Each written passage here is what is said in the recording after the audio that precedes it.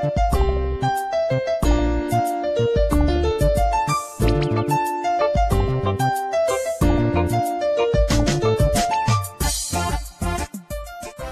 think that we are at the beginning of the birth of a new Somalia. When I was here before in the 80s, it was a very peaceful place. Uh, and things worked. Now we have had 20 odd years of chaos. We have had many years of destruction. We have had many years of no construction. So really what this country now offers, obviously, is the opportunity to rebuild.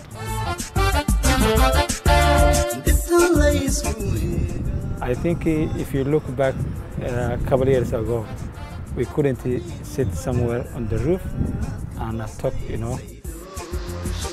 Even though you see buildings that have been that have have shells, uh, bullet shells, or have uh, let's say collapsed because of uh, bombs and everything, it's very peaceful. People have moved back into these uh, places, and shops are open. This is Africa. We go through challenges. Life has to go on.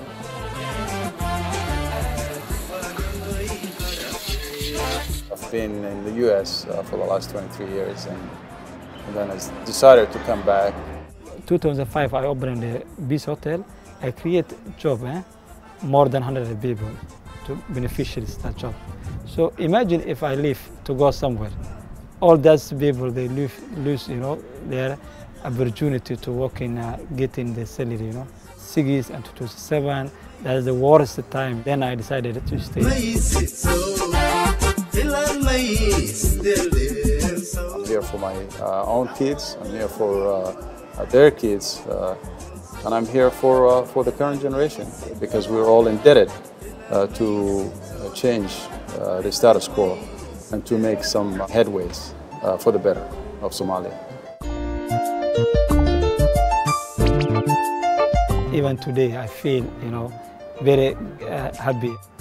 A lot of my family, they will come back. There is part of my family I never ever seen 22 years.